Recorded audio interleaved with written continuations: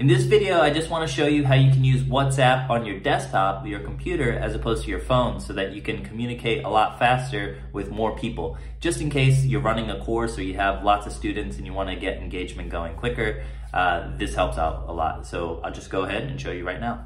So once you're on your phone, just click into the WhatsApp application.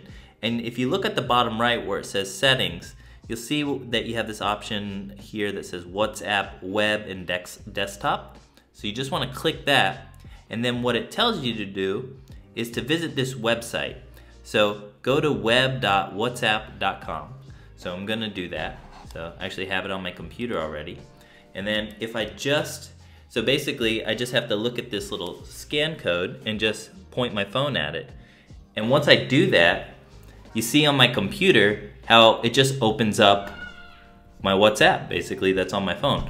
So now I have all my conversations here and I can run, I can do it from my computer. I can basically have my conversations here. So super helpful if you're running, you know, lots of conversations at once.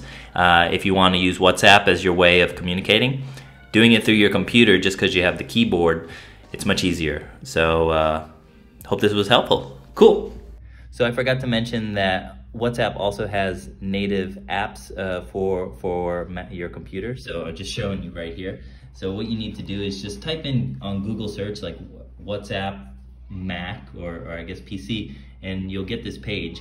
And uh, there you go. You just basically download this and then this is what I this is typically what I use and here you can see this is just like the app and it shows all the conversations and stuff uh, from your from your computer. So that can be cool if you don't want to have a browser open okay? There's the URL have a great day